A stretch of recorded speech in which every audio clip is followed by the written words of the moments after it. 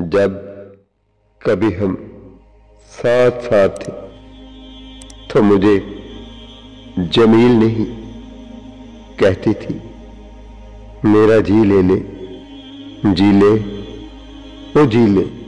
वाह जी वाह। सिर्फ़ पाँच छह साल बाद ही कहती है पायन ओ पायन।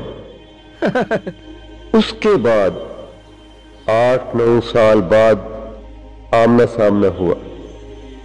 तो मुस्कुराते हुए कहती है अंकल जी कितने सोए नहीं दे ठीक हो गया। अब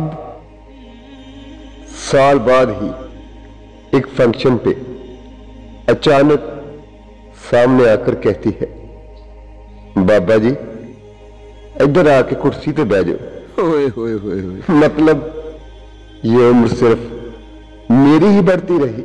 हाँ जी, वो तो खुद को अब भी सत्रह साल की ही समझती है हाँ।